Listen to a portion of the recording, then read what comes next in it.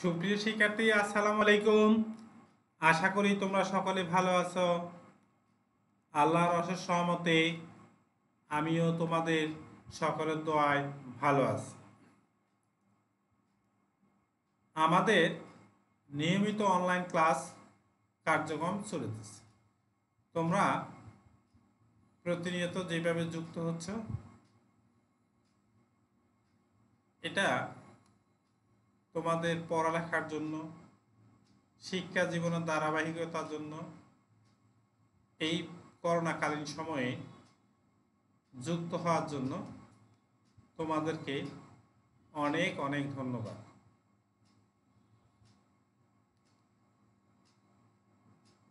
তোমরা নিয়মিত বাসা থেকে স্কুলের যে নির্দেশ অনুসারে স্কুল কর্তৃক যে নির্দেশ দান করা হয়েছে, অর্থাৎ অ্যাসাইনমেন্ট জমা দেওয়া, নিয়মিত অনলাইন ক্লাসে অংশগ্রহণ করা, সেগুলোর সাথে তোমরা প্রতিনিয়ত যুক্ত থাকবে। আমরা তোমাদের সাথে বিভিন্ন উপায়ে তোমাদের অভিভাবকদের সাথে নিয়মিতভাবে যোগাযোগ করি। যাতে করে শিক্ষা কার্যক্রমটা সচল থাকে। আজকে আমি মোহাম্মদ আবুকর সিদ্দিক, সিনিয়র শিক্ষক রোডার স্কুল অ্যান্ড কলেজ থেকে ষষ্ঠ শ্রেণির গণিত বিষয়ে আলোচনা করব। দ্বিতীয় অধ্যায় আমাদের। অনুশ্রেণী এক দশমিক পাঁচ। আজকে আমরা শিখব হলো ভগ্নাংশের যোগ, বিয়োগ, গুণ এবং ভাগ। তাহলে আমরা এর মধ্যে ভগ্নাংশের যোগ শিখছি, বিয়োগ শিখছি, গুণ শিখছি, ভাগ শিখছি। এখন সবগুলো একসাথে। ভগ্নাংশের লসাগু শিখছি ভগ্নাংশের গসাগুকরণও শিখছি। তো আজকে প্রশ্ন অঙ্কগুলোর মধ্যে আমরা যাব। তো সেগুলো আমরা শুরু করি। প্রশ্নটা কেমন আছে? দেখো, জামাল সাহেব তার বাবার সম্পত্তির আঠারো ভাগের সাত অংশের মালিক। তিনি তার সম্পত্তির ছয় ভাগে পাঁচ অংশ, তিন সন্তানকে সমান ভাগে ভাগ করে দিলেন প্রত্যেক সন্তানের সম্পত্তির অংশ নির্ণয় করো। প্রত্যেক সন্তানের সম্পত্তির অংশ নির্ণয় করতে বলছি। ঠিক আছে? জামাল সাহেব ছিল তার বাবার সম্পত্তির এই অংশটুকুর মালিক। এখন তিনি যতটুকু সম্পত্তি পেয়েছেন, তার সম্পত্তির এই যে ছয় ভাগের অংশ তিন ছেলেকে সমান ভাগে ভাগ করেছে। এন প্রত্যেক সন্তান কত পেয়েছে? তা জামান সাহেব তার সম্পত্তির কত অংশ? বাবার থেকে মানে এত অংশ। তার সন্তানকে দিলেন হল তার যতটুকু সম্পত্তি আছে তার ছয় ভাগের পাঁচ অংশ দিলেন। ঠিক আছে এবার? তাহলে জামান সাহেব সন্তানরা পেল আঠারো ভাগের সাত অংশ বাবার আর ছয় ভাগের পাঁচ অংশ সন্তানদের মধ্যে দিলেন। এত এর এত অংশ। ঠিক আছে এবার? তাহলে আমরা যখন সরল অঙ্ক করেছি, তখন বলেছিলাম এর এর কাজটা আগেই করতে হবে। ঠিক আছে এবার? তাহলে এর মানে হলো এক প্রকারের গুণ। তাহলে দেখো, গুণ যদি হয়, এইখানে এই উপরে লব আছে কত? সাত, হর আছে হইল আঠারো। এখানে লব আছে পাঁচ, হর হইল ছয়। এইখানে এই যে লব সাত আছে, এইখানে হরের আছে হইল ছয়, তাহলে কাটাকাটি যাচ্ছে না। আবার দেখো এখানে হর আছে আঠারো, লব আছে কত পাঁচ, তাও ভাগ যাচ্ছে না। তাহলে কি করব? আমরা শিখছিলাম হরে আর হরে গুণ, লবে আর লবে গুণ। তাহলে সাত গুণ পাঁচ দিলাম, আঠারো গুণ ছয়, ঠিক আছে এত অংশ? তাহলে সাত আর পাঁচ গুণ দিলে পাঁচ সাতা পঁয়ত্রিশ। ছয় আর আট গুণ দিই। তাহলে কত হয় দেখো? ছয় আট আটচল্লিশে আট, ছয় একে ছয় ছয় চারে দশ। এত অংশ। ঠিক আছে? সন্তানরা তাহলে পেল হলো কত? সন্তানরা পেল একশো আট ভাগের পঁয়ত্রিশ অংশ পেল। ঠিক আছে এবার? তাহলে এখন দেখো, যেহেতু তিন সন্তান সমান হারে নিচ্ছে কি করেন জামা সাহেব তিন সন্তানকে সমান ভাগে ভাগ করে দিল তাহলে প্রত্যেক সন্তান কত পেল এই সংখ্যার যে অংশ আছে এটাকে আমরা তিন ভাগে ভাগ করে দিব। অর্থাৎ তিনজনে মিলে এই সম্পত্তিটুকু পেল। তিনজনে মিলে পেল। ঠিক আছে? তা তিন দিয়ে ভাগ দিই। তাহলে প্রত্যেক সন্তান পাবে হলো একশো আট ভাগের পঁয়ত্রিশ ভাগ তিন। এত অংশ। তাহলে আমরা এটা এখানে লিখলাম। এখন গুণ চিহ্ন দিয়ে এখানে উঠাই দিলাম। তাহলে এখানে কি হইল? এই তিন হয়ে গেলে হইল হর। আর লব হলো কত? এক। তাহলে এখন কি করব দেখো? এই যে এখানে লব হইল পঁয়ত্রিশ, এখানে হর হইল কত তিন? তাহলে কি ভাগ যায় যাচ্ছে না। তাহলে আগের মতোই কি করব? হর আর হরে গুণ, লব আর লবে গুণ। তাহলে দিলাম। তাহলে এখানে পঁয়ত্রিশ গুণ এক আর একশো আট গুণ তিন, ঠিক আছে? এত অংশ। তাহলে পঁয়ত্রিশে একে পঁয়ত্রিশ দিলাম, ঠিক আছে? পঁয়ত্রিশ গুণ এক দিয়ে দিই। ঠিক আছে আমরা পঁয়ত্রিশ গুণ এক দিয়ে দিই পঁয়ত্রিশ গুণ এক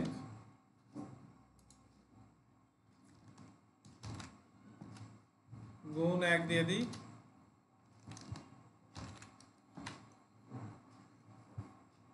ঠিক আছে তাহলে পঁয়ত্রিশ গুণ এক দিলাম তাহলে পঁয়ত্রিশ একে পঁয়ত্রিশ তাহলে তিন আর চব্বিশের চার হাতে রইল কত দুই তিন আর শূন্য গুণ দিলে শূন্য। তাহলে ওই দুই যোগ করে দুই তারপর তিনে একে তিন। তাহলে কত হলো দেখো? তিনশো চব্বিশ ভাগের পঁয়ত্রিশ অংশ। তাহলে প্রত্যেক সন্তান পেল তিনশো চব্বিশ ভাগের পঁয়ত্রিশ অংশ। ঠিক আছে এবার? তো শিক্ষার্থীরা, আশা করি সকলে অঙ্কটুকু বুঝতে পেরেছি কীভাবে অঙ্কটা করতে হবে। ঠিক আছে? তারপরে আমরা যাই। এখানে বলছে দুইটি সংখ্যার গুণপদ আটচল্লিশ সমস্ত আট ভাগের এক। একটি ভগ্নাংশ এক সমস্ত বত্রিশ ভাগের তেরো হলে অপর সংখ্যাটি কত? ঠিক আছে এবার। তাহলে দেখো এটাও অপকৃত এখানে হলো মিশ্র ভগ্নাংশ, এটাও হলো মিশ্র ভগ্নাংশ। ঠিক আছে এবার।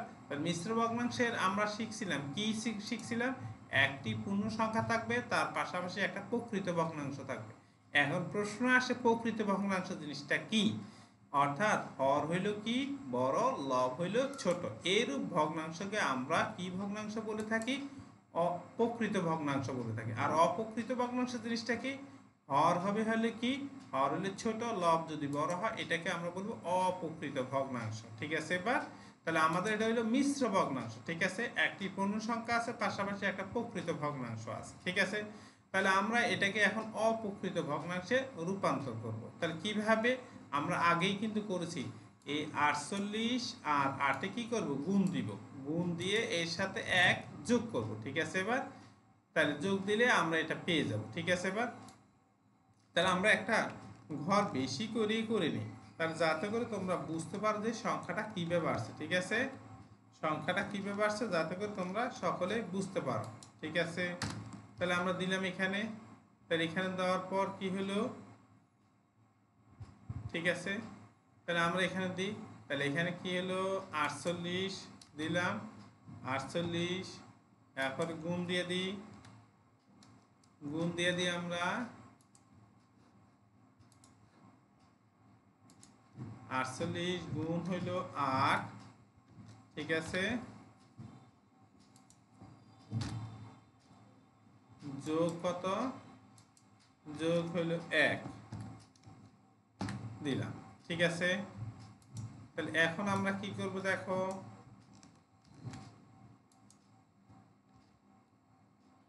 এখন আমরা এটা গুণ করি, দেখো কত হয়?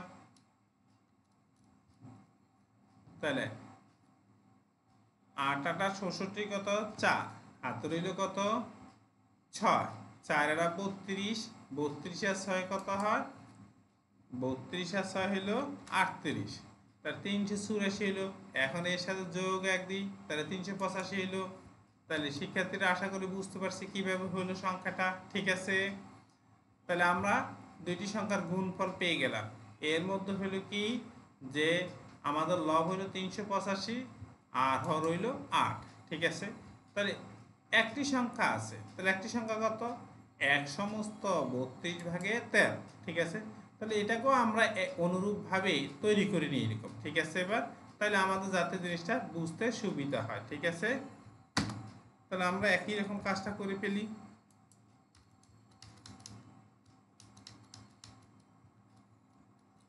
তাহলে এখানে কি করব? এক। দিলাম এক গুণ কত? বত্রিশ। দি বত্রিশ বত্রিশ। যোগ কত? তেরো। দিলাম তেরো। হয়ে গেল? তাহলে এখন আমরা কি করব? দেখো আমরা কি করতেছি? তাহলে বত্রিশ একে কত হয়? বত্রিশ, নাকি? তাহলে বত্রিশ যোগ হলো তেরো, তাহলে কত হয় আমাদের? বত্রিশ আর তেরো যোগ করলে কত হয়? পঁয়তাল্লিশ হয়। ঠিক আছে? তাহলে আমরা এটাকে আমরা কি ভগ্নাংশে রূপান্তর করলাম এখন? আমরা অপ্রকৃত ভগ্নাংশে রূপান্তর করলাম। ঠিক আছে? অপ্রকৃত ভগ্নাংশে রূপান্তর করলাম। তাহলে একটি সংখ্যা পেয়ে গেলাম হইল কত? আমাদের লব হইল তিনশো পঁচাশি, আর হর হইল আট আট মানে গুণফলটা পেলাম, আর একটি সংখ্যা হইল আমাদের লব হইল পঁয়তাল্লিশ, হর হইল বত্রিশ। ঠিক আছে এবার? তাহলে এখন দুইটি সংখ্যার, এই দেখো গুণফল দুইটি সংখ্যার গুণফল ভাগ একটি ভগ্নাংশ। ঠিক আছে এবার? দুইটি ভগ্নাংশের গুণফল ভাগ একটি ভগ্নাংশ, তাহলে আমরা পেয়ে গেলাম দেখো এবার মানগুলো বসাতে দুইটি সংখ্যার। এই যে দুইটি সংখ্যা, ভগ্নাংশ আছে, ভগ্নাংশের গুণফল কত? আমাদের এই সংখ্যাটা হলো। তাহলে আমরা এই সংখ্যাটা বসালাম। এরপর কি চিহ্ন আছে? ভাগ চিহ্ন। বসালাম ভাগ চিহ্ন। একটি সংখ্যা, একটি ভগ্নাংশ কত ছিল? এই যে একটি ভগ্নাংশ ছিল এটা। তাহলে বসা দিই এটা। ঠিক আছে। এখন আমরা কি করব? এই সংখ্যাটাকে কি করব? এই সংখ্যা যেটা আছে সেটা, এই ভাগ চিহ্ন যেটা আছে সেটাকে কি করব? গুণ দিব। তাহলে গুণ দিলে হর, লব হবে, লব হরের জায়গা আসবে। ঠিক আছে? বসাই দিলাম। ঠিক আছে, বসাই। তা বসানোর পর দেখো এখন।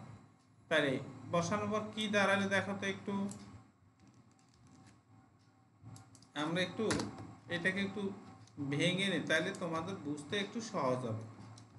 দেখো, এই সংখ্যাটা হয়ে গেল, ঠিক আছে? তাহলে এখন আমরা কি করব দেখো, এই যে এখানে তিনশো পঁচাশি আছে আর এখানে পঁয়তাল্লিশ আছে, অবশ্যই পাঁচ দিয়ে কিন্তু ভাগ যায়, কারণ শেষের সংখ্যাটি পাঁচ আছে, এখানে পাঁচ। তাহলে পাঁচ নং পঁয়তাল্লিশ। এখানে যদি পাঁচ দিয়ে ভাগ দিই, পাঁচ সাতা পঁয়ত্রিশ, হাতে থাকে তিন, আবার পাঁচ সাতা পঁয়ত্রিশ। তাহলে কত হয়? সাতাত্তর হয়, ঠিক আছে? পাঁচ দিয়ে ভাগ দিলে আর এখানে আছে বত্রিশ, এখানে আছে হলো আট, ঠিক আছে? তার আট, এই যে বত্রিশকে আমরা আট দ্বারা ভাগ করি, তাহলে আটে কে আট, চার আটা বত্রিশ, ঠিক আছে এবার? তাহলে দেখো এখানে লব থাকতেছে কত? সাতাত্তর আর চার, আর এখানে হর থাকতেছে কত? এক, আর হইল নয়। ঠিক আছে এবার? তাহলে আমরা কি করব এখন দেখো?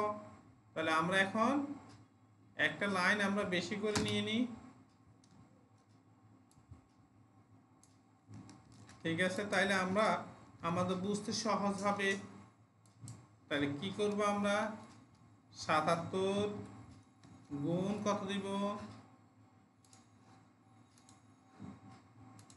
সাতাত্তর গুণ চার নিচে কত দিব আমরা দেখো তো?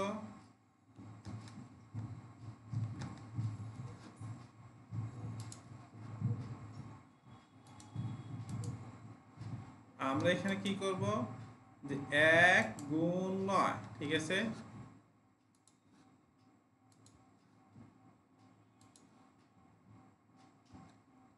এখানে এক বসা দিই, তাহলে এক গুণ নয়, ঠিক আছে এবার?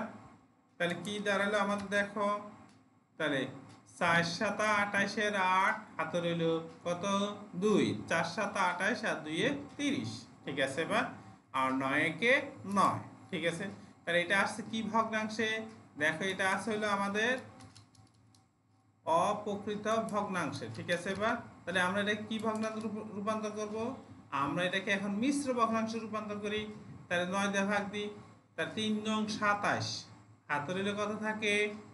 হাতে থাকে হলো তিন, তাহলে আটত্রিশ হয়, চার নং ছত্রিশ। হাতে রইল দুই, তাহলে চৌত্রিশ সমস্ত নয় ভাগের দুই হয়, ঠিক আছে? তাহলে শিক্ষার্থীরা, আমরা বুঝতে পারছি অপর সংখ্যাটি হলো চৌত্রিশ সমস্ত নয় ভাগের তিন। তা শিক্ষার্থীরা, আশা করি তোমরা সকলেই এই দুইটি অঙ্ক বুঝতে পেরেছ। বাসা হোম প্র্যাকটিস করবে, যাতে করে আমরা এই ধাঁচের অঙ্কগুলো আসলে, এই মডেলের অঙ্কগুলো আসলে পরীক্ষা আমরা যাতে উত্তরটা দিতে পারি। ঠিক আছে? ভালো থাকো সুস্থ থাকো সেই কামনা করি। আল্লাহ হাফেজ। আসসালামু আলাইকুম।